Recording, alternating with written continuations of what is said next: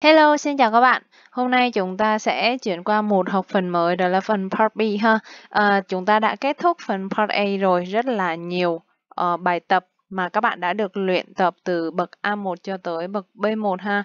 Rồi thì bây giờ chúng ta sẽ chuyển sang cái học phần này thì chúng ta sẽ gộp tất cả các kiến thức từ cơ bản tới nâng cao trộn lẫn trong một cái đề luôn. Và thường thì những cái đề này nó sẽ có những cái nội dung ngữ pháp riêng mà cần để bổ sung thêm cho các bạn ha và sẽ được ghi ở đầu đề bài. Rồi thì bài hôm nay chúng ta sẽ luyện một cái đề nó khá là dài các bạn. Rồi uh, và nó sẽ ở ngang cái tầm là A1 A2 thôi ha các bạn.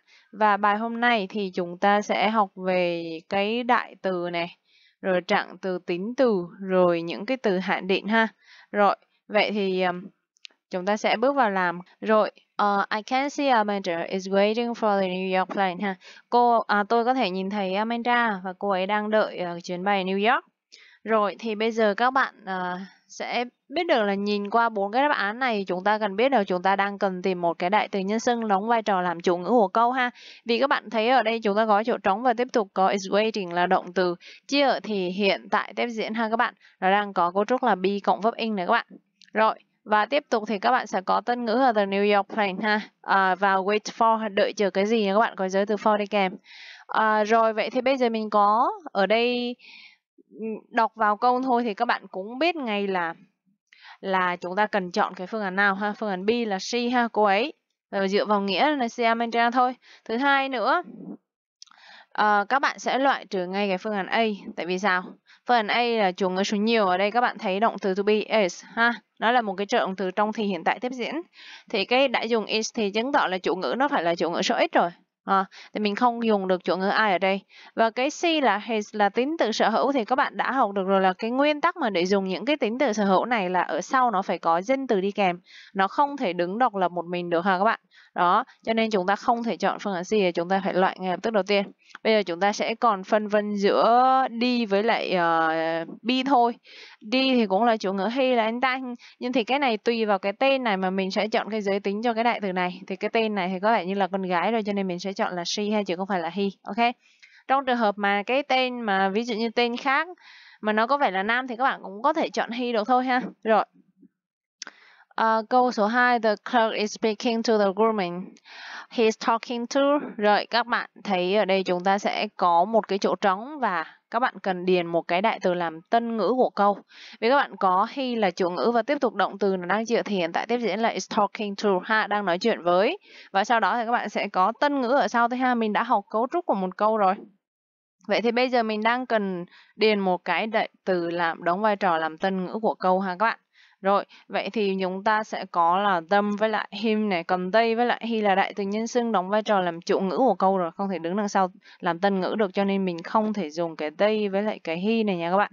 Rồi bây giờ uh, anh ta đang nói chuyện với ông ấy hoặc là anh ta đang nói chuyện với họ thì bây giờ các bạn thấy nè speaking to the women ha là những người phụ nữ các bạn thấy đây là một cái danh từ số nhiều là nhiều người rồi nhiều người thì phải là tâm chứ đúng không các bạn ha rồi uh, các bạn không thể dùng à, uh, him được him là chỉ có một người thôi ha. Cái ông cái anh thư ký đang nói chuyện với uh, những người phụ nữ kia thì anh ta đang nói chuyện với họ ha. He's talking to them.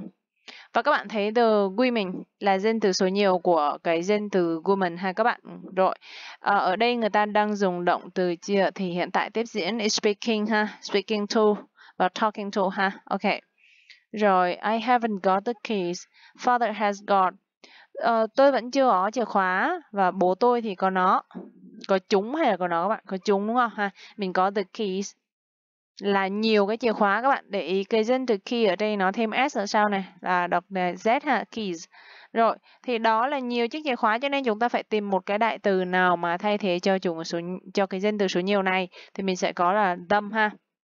Cái từ tâm này không những là các bạn dịch chỉ không chỉ nghĩa là họ đâu nha các bạn mà còn nghĩa là chúng là để cho nhiều vật đó các bạn ha thì mình sẽ dịch là chúng. Bố tôi thì có chúng, có những cái chìa khóa đó. Còn him là chỉ người, her chỉ người, it là nó. Tuy nhiên ở đây các bạn có là the keys. Nó thêm s chứng tỏ là nhiều thì các bạn phải dùng tâm chứ không phải dùng it. Trong trường hợp mở ở đây là got the key hoặc là got the key chỉ có một thôi thì sau này các bạn sẽ dùng là has got it ha. Rồi câu 4, can you see those boys and Father, thì các bạn thấy là uh, rồi bạn có thấy là những cái cậu nhóc kia vào bố của họ hay không? À, bác các bạn có ở đây chúng ta cần một cái tính từ sở hữu vì sao các bạn các bạn có father là danh từ rồi? Thì mình mới nói ở đây danh từ các bạn thì ở trước này thì các bạn cần một cái tính từ sở hữu ha. Thì đây này là đại từ nhân xưng làm chủ ngữ thì các bạn không dùng được ha. Rồi cái tâm này là làm tân ngữ là nó đứng sau động từ thì ở đây các bạn thấy là see là động từ là those boys tân ngữ và tiếp tục đôi khi các bạn còn and them tuy nhiên là ở sau này, các bạn có cái danh từ nữa cho nên các bạn không được dùng cái đại từ làm tân ngữ mà ở đây mà còn dư thì một, thêm một cái danh từ nữa ha, nên chúng ta không dùng được. Ở him này càng vậy. Các bạn có phương án là there. Vậy vì sao there? There là nhiều ha thì các bạn có see those boys những cái cậu nhóc kia các bạn thấy boys ở đây là nó danh từ số đang là danh từ đếm được và đang ở dạng số nhiều là thêm thêm s là các bạn boys thì thêm s có nghĩa là nhiều người nhiều người thì các bạn phải là there chứ của họ ha bố của họ ha Số 5 today the weather is very hot ha. Hôm nay thời tiết quá là nóng thì các bạn sẽ có mạo từ tờ ha, dùng cho the weather ha. Cái gì chỉ có một thôi, the sun, the weather, the rồi the winter mùa đông mùa hè mùa xuân gì đó ha. Đó the weather. Thời tiết is very hot. Thì thời tiết là các bạn thấy ở đây là danh từ số số ít không đếm được ha. Một thời chỉ và chỉ có một cái, cái, cái danh từ là gọi là thời tiết thôi ha. Rồi các bạn sẽ có ở đây là chủ ngữ số ít cho nên mình chia động từ là to be is ha. Và tiếp tục tính từ là hot là bộ ngữ của câu và very là trạng từ bộ ngữ thêm cho cái tính từ. Tiếp tục câu số 6 he is Mr. Taylor's husband anh, ông ta là chồng của bà Taylor. Thì chồng của bà Taylor thì các bạn sẽ có Taylor phẩy S. Đây là sở hữu kết rồi ha. Thì sở hữu kết là giống như cái tính từ sở hữu ở trên này các bạn. Chẳng qua ở đây tính từ sở hữu mình có luôn là của anh ấy, của cô ấy, rồi của họ, của tôi. Có ở đây là của một cái tên riêng thì các bạn sẽ có phẩy s ở đây là sở hữu kết đóng vai trò như một cái tính từ sở hữu. Thì sau đó các bạn sẽ cộng kèm với danh từ luôn thôi. Các bạn không cần phải có mạo từ điển ở đây nữa cho nên mình sẽ có phương án B là phương án chính xác ha, Taylor's husband uh, Taylor's husband ha. Rồi chồng của bà Taylor. Rồi câu số 7 butterflies are insects rồi những con bướm thì là những loài côn trùng hay những con côn trùng. Thì ở đây các bạn sẽ um, rồi các bạn có ngay phương án chính xác là C luôn đi. Cái này mình loại trừ cũng được luôn á. Các bạn có cái ở sau là cái danh từ insects này là nó đang thêm s này các bạn. Những con côn trùng thì nó đang ở dạng số nhiều thì số nhiều các bạn không được dùng ở ẩn rồi. Ở ẩn là chỉ có một thôi đúng không? Rồi mà chỉ có từ thì các bạn mới cộng được vừa cái danh từ số ít và vừa danh từ số nhiều. Và cái tâm này là đại từ làm tân ngữ thì không đúng rồi này. Câu số 8 is a bee insect. À, có phải một con ong là một con, con côn trùng hay không? Thì bây giờ các bạn sẽ có ở đây uh, một ở bee thì mình sẽ có là ờ thôi tại vì cái danh từ này nó đang ở dạng số ít nên các bạn thì các bạn ờ, và cái này mình chưa có nhắc tới, đúng không? Cho nên mình nói luôn là có phải là con ong, một con ong là một cái con côn trùng hay không? Cho nên mình sẽ có phương án phần B vì sao mà B mà không phải là A? Tại vì insect nó bắt đầu bằng cái nguyên âm ha. Cho nên mình sẽ có mạo từ ẩn. Rồi, câu số 9 I'll wait for you half an hour ha. Tôi sẽ đợi bạn 30 phút. Nửa tiếng là 30 phút nữa các bạn. Rồi, thì mình sẽ có ở đây là Ờ, cái cụm là half an hour là nửa tiếng thôi, một nửa của một giờ ha. Thì các bạn sẽ có ẩn. Và vì sao là cái này bắt đầu bằng chữ H mà nó lại dùng cái ẩn nữa các bạn? Tại vì cái cái cái cách dùng mạo từ mình sẽ căn cứ vào căn cứ vào cái nguyên âm nó à, cái cái từ đó nó bắt nó phát âm như thế nào. Thì cái từ our này nó không có phát không có bắt đầu bằng chữ h mà nó phát âm bằng từ chữ o này các bạn our đó. Cho nên là cái chữ h này nó câm mà đã câm mình không có phát âm chữ h rồi mình bắt đầu bằng cái nguyên âm o này. Vậy cho nên là mình sẽ phải chọn cái phương án b là phương án chính xác là các bạn. Câu số 10 I haven't got paint ha. Tôi ờ, không có um, màu sơn ha màu sơn nước sơn hộp sơn gì đó. Rồi thì bây giờ chúng ta sẽ xem uh, các bạn sẽ có ở đây cái having got. Nó là cái câu đang chia động từ ở dạng phủ định các bạn không có. Thì mình đã được học any rồi. Any là dùng trong câu phủ định không có bất cứ cái gì này ha. Tôi không có bất cứ cái màu sơn nào hết ha. I haven't got any paint. Rồi cái some là mình dùng trong câu khẳng định là có một vài này rồi còn cái many là nhiều thì cũng không đúng ở đây rồi mà mình sẽ có là any tại vì mình dùng trong cái câu phủ định là nó sẽ đúng nhất với cái từ any này ha. Câu 11 we are late, chúng tôi muộn rồi. The teacher will get angry with with us ha với chúng tôi thôi tại vì mình đang có chủ ngữ trước này là we này. Chúng tôi đã bị muộn rồi và giáo viên sẽ nổi giận với chúng tôi thôi chứ không thể là à mà ở đây các bạn loại trừ những cái phương án khác cũng được tại vì không có cái nào làm tân ngữ ở đây được hết. Đây là đều là đại từ nhân xưng làm chủ ngữ hết các bạn. Mà các bạn cần sau này là là tân ngữ ha. Động từ get angry with with someone. Các bạn có cái cụm get angry with là cái um, cái giới từ with đi kèm ha. Và cái angry này là tính từ ha động từ là get ha vì bình thường mình có động từ sẽ cộng với trạng từ, tuy nhiên những cái động từ nối như là get rồi là những cái động từ chỉ tri giác như là feel, think này kia rồi smell or taste là mình sẽ cộng với tính từ ha các bạn. Rồi, my father is an engineer ha. Bố tôi là một kỹ sư thôi. Uh, các bạn sẽ có ở đây thì chúng ta có um, mạo từ miêu tả ha là một rồi ở đây các bạn có nữa là vì sao không dùng the mà mình dùng ở ẩn tại vì là khi mà các bạn dùng mạo từ từ thì đã xác định và cái người nghe đã biết đến đó là ai rồi. Còn đây là một cái câu miêu tả bình thường và câu kể lần đầu các bạn. À, bố tôi là một kỹ sư thì mới là câu kể bình thường thôi. Cho nên là mình không có không có cái gì mà bổ sung thêm nghĩa cho cái này. Cho nên là mình sẽ dùng cái mạo từ ẩn chứ không phải là tờ ha. Rồi và vì sao mình dùng ở ẩn? Mình dùng ẩn chứ không phải dùng ấy này. Tại vì cái engineer nó bắt đầu bằng nguyên âm cho nên mình sẽ dùng cái mạo từ ẩn ha rồi câu 13 this is not my bicycle is my um, rồi, đây không phải là xe đạp của tôi mà đó là xe của bố tôi. Các bạn sẽ phải có sở hữu kết rồi ha, fathers, à, phải s này ha. Rồi sở hữu kết. À, thì ở đây các bạn có hai cái tính từ sở hữu các bạn. Thứ nhất là tính từ sở hữu là sở hữu kết fathers này và tính từ sở hữu là tiếp theo là my ha. Xe của bố của tôi ha. Rồi Okay, các bạn cứ điền từ từ các bạn dịch một cái cụm danh từ các bạn dịch ngược từ sau tới thì sẽ được hết rồi. Câu 14 cats can wash their paws and fur, ha. Thì các bạn có ở đây vì sao mình dùng cái tính từ sở hữu ở there chứ không phải là cái đây và cái has này là loại nha. Mình cần ở đây một cái tính từ sở hữu vì sao? Ở đây các bạn có danh từ ở phía sau. Đó, vậy thì bây giờ các bạn sẽ cộng với một cái tính từ sở hữu ở trước là để mình biểu thị là của chúng thôi. Của chúng chứ không phải của nó. Bây giờ ở đây các bạn có danh từ cats là danh từ số nhiều ha. Nó đang là nhiều con mèo này, những con mèo nó thêm s ở sau. Cho nên đây phải là nhiều nhiều thì phải là there chứ không phải là is. Trong trường hợp mà ở đây có a cat thôi, có một con thôi á thì các bạn sẽ dùng cái is này ha. Rồi. There is some milk I'd like to drink it ha. Vì sao mình gọi là it? Tại vì ở đây các bạn này uh, có một ít sữa, tôi rất là muốn uống uống nó. Vì mà các bạn có some milk là dùng ngữ số ít không đếm được thôi ha. Các bạn có này không thể thêm s ở sau cho nên mình không dùng tâm được mà mình sẽ dùng it trong trường hợp là nó ít ha. Rồi uh, câu 16 à, các bạn có uh, good like to verb ha, thích làm cái gì đó. Rồi Terry is talking to women ha. Rồi Terry thì đang nói chuyện với hai người phụ nữ thì các bạn có two hai hai thì phải số nhiều là các bạn không thể dùng woman được mà các bạn sẽ có là women là danh từ số nhiều của woman ha. Is talking to nó đang chia thì hiện tại tiếp diễn là các bạn và talk gì bây giờ to, to ha talk with hoặc talk to. Câu 17 on the uh, rồi uh, following the man thì các bạn sẽ có ở đây chúng ta có policeman, woman và dog. Nó ba cái này đều là danh từ đếm được và đang ở dạng số ít thôi. Đây là có một viên cảnh sát thôi, đây là có một người phụ nữ và có một con chó thôi.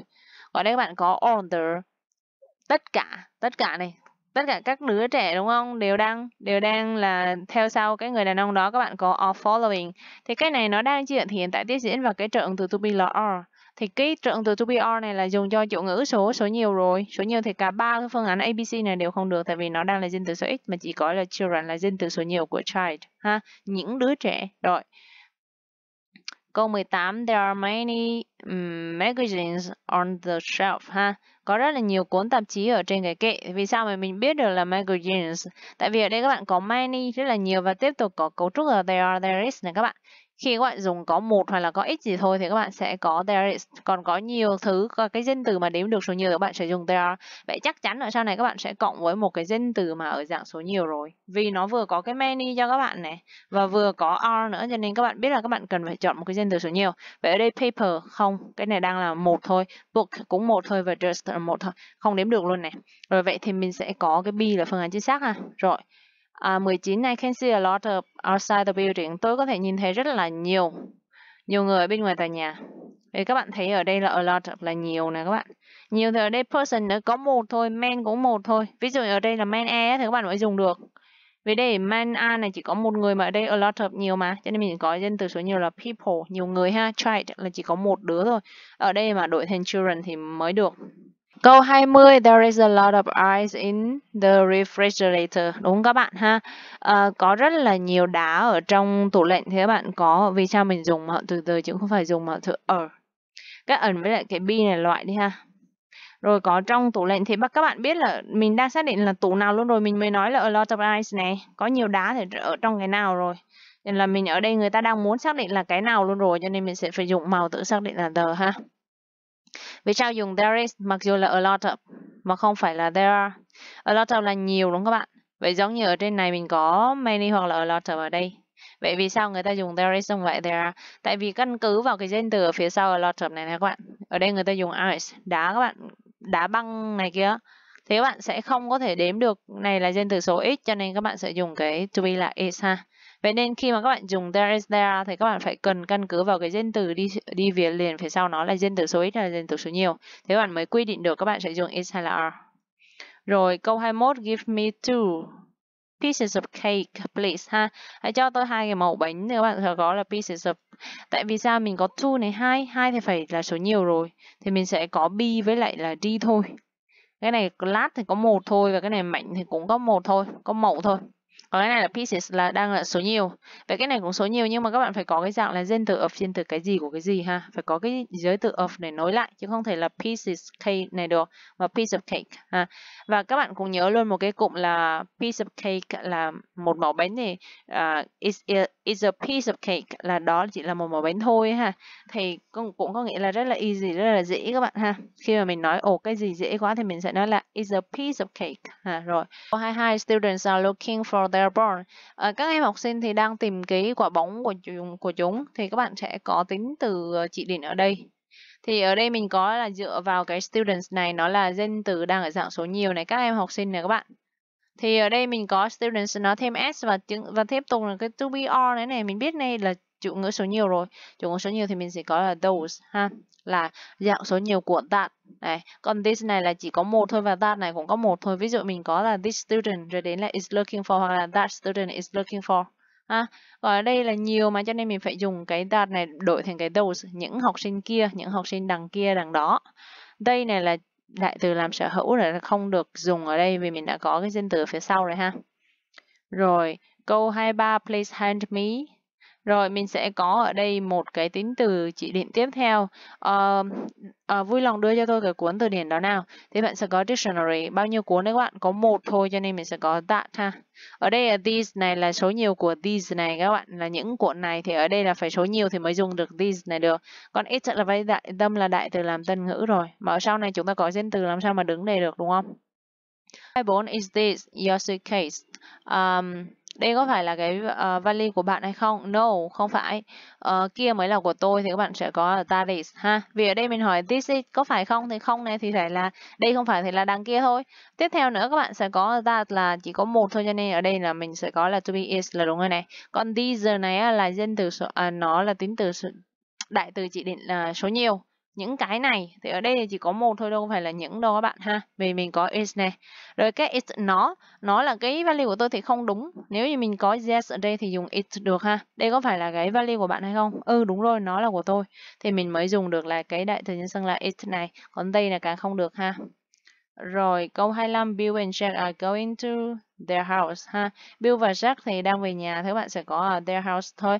Tại vì sao? Ở đây là có hai người, hai người thì phải của họ, của họ thì phải there. Ở đây sau này chúng ta có danh từ house cho nên trước này cần phải có tính từ sở ở there chứ không thể là đại từ làm tân ngữ hay là hay là cái đại từ làm uh, chủ ngữ được, không thể the house hay là them house được. Còn cái his house này là cái his này nó là tính từ sở hữu chỉ có của anh ấy thôi trong khi mình có chủ ngữ ở đây là cả Bill cả Jack mà ha. Rồi ở đây là hai người cho nên người ta có cái trợ to be à, là are này các bạn chứ không phải là is ha câu 26 my brother and I are hungry. Anh anh anh tôi và tôi rất là đói bụng cho nên là và chúng tôi cũng khát nữa ha. We are thirsty too. Vì sao mà we ở đây là mình có hai người my brother and I thì mình sẽ có là we thôi chứ không phải là đây ha họ sao mà họ được? Vì mình đang có ngôi ai ở đây nữa này mà. Ha, anh trai tôi và tôi thì đang rất là đói bụng và chúng tôi cũng khát nữa ha. We are thirsty too. Cái này là chúng tôi tuy nhiên nói là làm tân ngữ nó đứng sau động từ hơn các bạn. Đây là cần chúng ta cần là một cái đại từ làm chủ ngữ. Rồi, câu hai 27 take Janet and Anna too their rooms ha. Hãy đưa à, hãy dẫn Janet và Anna tới phòng của chúng đi. Rồi, của hai đứa đấy đi thì các bạn sẽ có there thôi, là vì ở đây có hai người cho nên mình phải là của họ đúng không? À, Janet và Anna chứ không thể là her là chỉ có của cô ấy là một người được.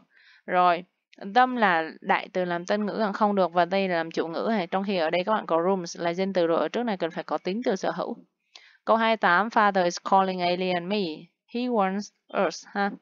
Bố thì đang gọi uh, tên Ali và tôi, ông ấy muốn tìm chúng tôi đúng không? And, um, thì các bạn sẽ có là cái đại từ làm tân ngữ là us. Các bạn không thể là we tại vì we chỉ làm chủ ngữ trong khi các bạn cần biết ở đây chúng ta cần tân ngữ này, mình có chủ ngữ là he và động từ là wants. Tâm này là ông ấy muốn họ, vì sao họ được? Vì trong ngày mình có mi mà bao gồm tôi nữa cho nên là phải chúng tôi chứ đúng không? Cho nên him là cũng không này. 29 uh, Sapil dropped some books, so I picked them up for her. Vì sao mà them? Some books. Sabri là làm rơi một vài cuốn sách cho nên tôi đã nhặt chúng cho cô ấy. Thì các bạn sẽ có là nhặt chúng thì ở đây là some books là nhiều cuốn ha các bạn. Một vài cuốn này nó đang danh từ ở dạng số nhiều thì mình phải có đại từ tương đương tương ứng với cái với cái books này thì mình sẽ có them. Còn nếu ở đây là drop a book, một cuốn thôi thì sau này mình sẽ có là picked, rồi đến đây là eat up for her ha. Rồi 30, the boys are holding up their hands ha. Um, rồi uh, các cậu bé đang nắm tay nhau thì các bạn có là nắm nắm tay của chúng đúng không? Their hands. Tại vì ở đây là the boys are là các bạn sẽ có là những cậu nhóc kia là chủ ngữ số nhiều nó đang là danh từ số nhiều nè các bạn. Đó cho nên mình sẽ có cái tính tự sở hữu mà số nhiều nữa their hands. Rồi và cho dù không chọn cái này thì cũng không có đáp án nào để mà phân vân hết các bạn ha này there này là đằng kia không phải này đây là ừ, làm chủ ngữ và tâm làm tân ngữ nè trong khi ở đây sau này mình có cái danh từ has thì mình sẽ có tính từ sở hữu ha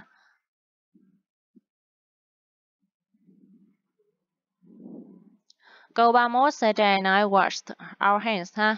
Rửa tay của chúng tôi tại vì trong này mình có bao gồm ai này. Vì sao không dùng us? Tại vì us là tân ngữ mà trong khi mình cần ở đây là cái tính từ sở hữu vì sao? Vì sao có hands này, có danh từ ở sau ha. Ours cái này là đại từ sở hữu và à, nó có thể đứng một mình nữa các bạn. Của chúng tôi tuy nhiên là nói dùng trong trường hợp mà các bạn không cần nhắc lại cái danh từ ở phía sau á.